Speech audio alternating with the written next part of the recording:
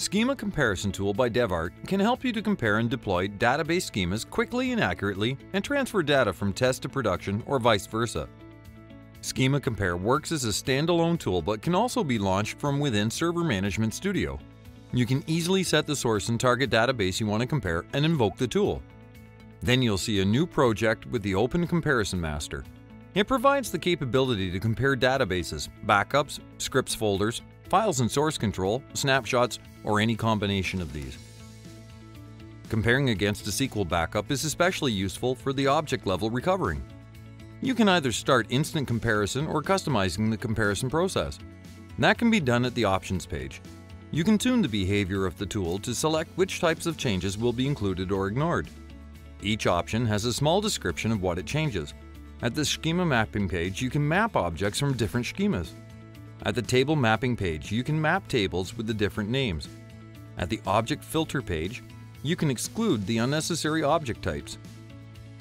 Alright, let's hit to compare now. As you can see, that process is extremely fast. The result of the comparison is grouped by different types. You can see what exists only in source but not in the target, as well as the objects that exist in target environment, but not in the source one. If you click on the object from the different group, you'll see the SQL script and its exact difference. Moreover, at this stage, it is possible to review or share differences with coworkers before proceeding. Now, let's select all differences and then launch the synchronization wizard to create the deployment script. It will transfer any selected changes from your source to the target. At the output page, you have three options that depend on the deployment process you follow. You can open or save the deployment script for further review.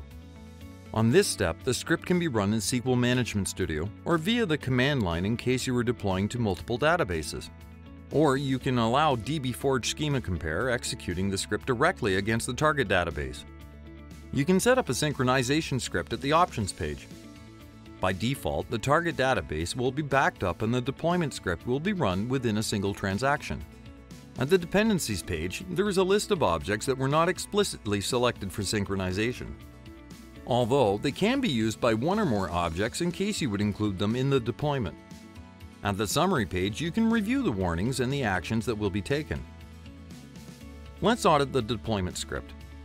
As you can see, the generated synchronization script is accurate, concise, and really easy to read. It is especially essential for other colleagues that can review or execute it. After completing the review, you can apply the script against the target database. Let's recompare to make sure that the deployment is applied successfully. Just download a 30 days free trial of the Schema Compare and find out how simple and errorless that Schema Changes deployment can be.